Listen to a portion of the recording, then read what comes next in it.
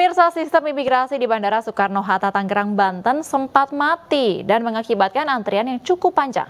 Selain itu dampaknya adalah para penumpang mengantri 2 hingga 3 jam untuk diperiksa. Hingga Kamis malam, sistem pelayanan imigrasi penumpang masih terus diupayakan pulih.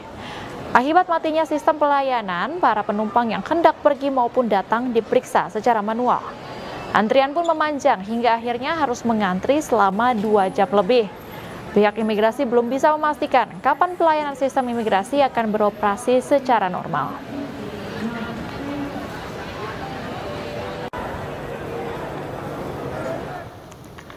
Dan pemirsa bagaimana pelayanan penumpang di Bandara Soekarno-Hatta saat ini? Kami sudah terhubung dengan rekan Hasnugara, Hasnugara maksud kami di Bandara Soekarno-Hatta. Selamat malam Hasnugara, apakah sistem pelayanan imigrasi saat ini sudah aktif kembali dan bagaimana pelayanan penumpang di sana?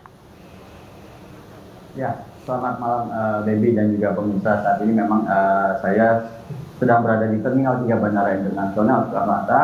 Memang uh, saat ini situasinya cukup uh, kondusif ya karena memang uh, rute penerbangan dari dan menuju luar negeri memang sudah uh, semakin berkurang.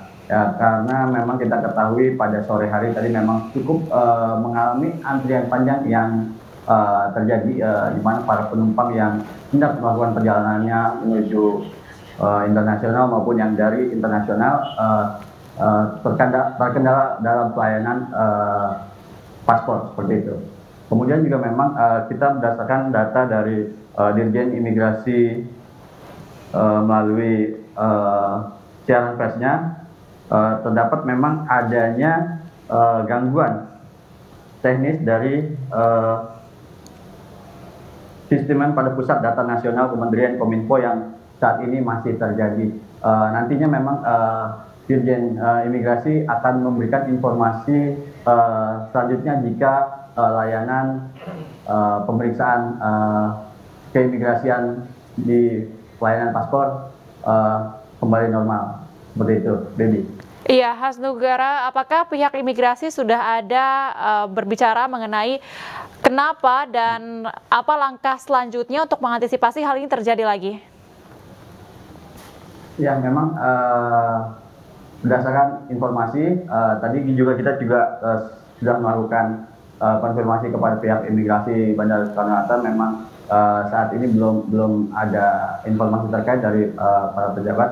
Uh, namun demikian mereka memberikan uh, siaran pers yang uh, satu pintu begitu uh, dari uh, Dirjen Keimigrasian. Bahwasanya memang uh, mereka memberikan informasi bahwasanya layanan keimigrasian pada unit pelaksanaan teknis uh, seperti unit layanan paspor uh, pemeriksaan baik itu uh, kedatangan maupun uh, keberangkatan mengalami uh, kendala.